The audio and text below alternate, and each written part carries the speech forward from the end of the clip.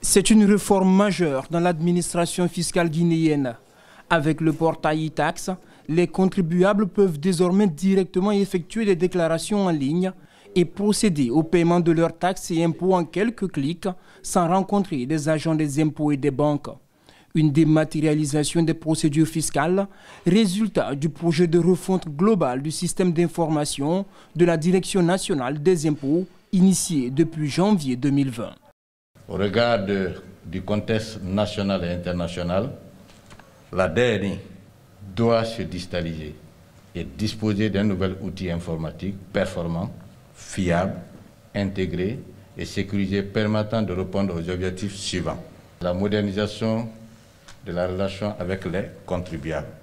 Deuxièmement, la transparence dans les opérations de traitement des impôts. Utilisation de l'intelligence artificielle pour le contrôle fiscal, qu'on sort des papyrasses et qu'on sort avec les outils, les logiciels de gestion. Augmentation et sécurisation des recettes fiscales. En une semaine déjà, 29 déclarations sont transmises en ligne avec plus de 40 milliards de francs guinéens payés en ligne. Le ministère du Budget, à travers la Direction nationale des impôts, offre avec le portail e-tax plus de facilité aux contribuables et limite les évasions fiscales. Qu'à partir de septembre 2020, toutes les structures, les grandes entreprises qui relèvent du service des grandes entreprises ne pourront déclarer leurs impôts et taxes que sur e-tax.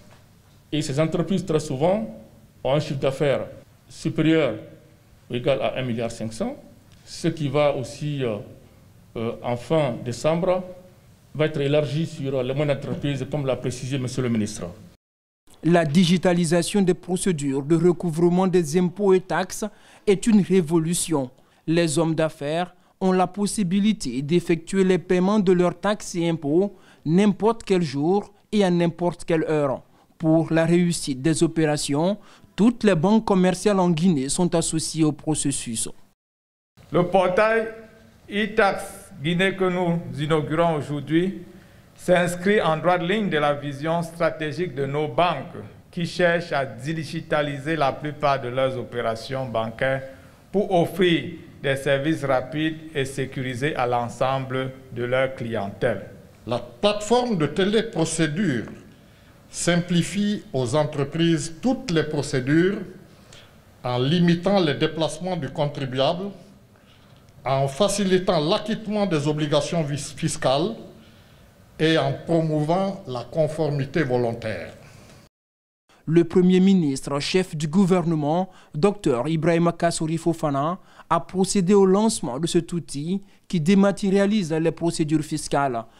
La mise en place d'un outil numérique de procédures fiscales constitue la suite cohérente des actions de développement programmées par le gouvernement pour tirer tout le bénéfice des infrastructures du backbone national et de ce qui convient d'appeler la quatrième révolution industrielle, c'est-à-dire la révolution numérique.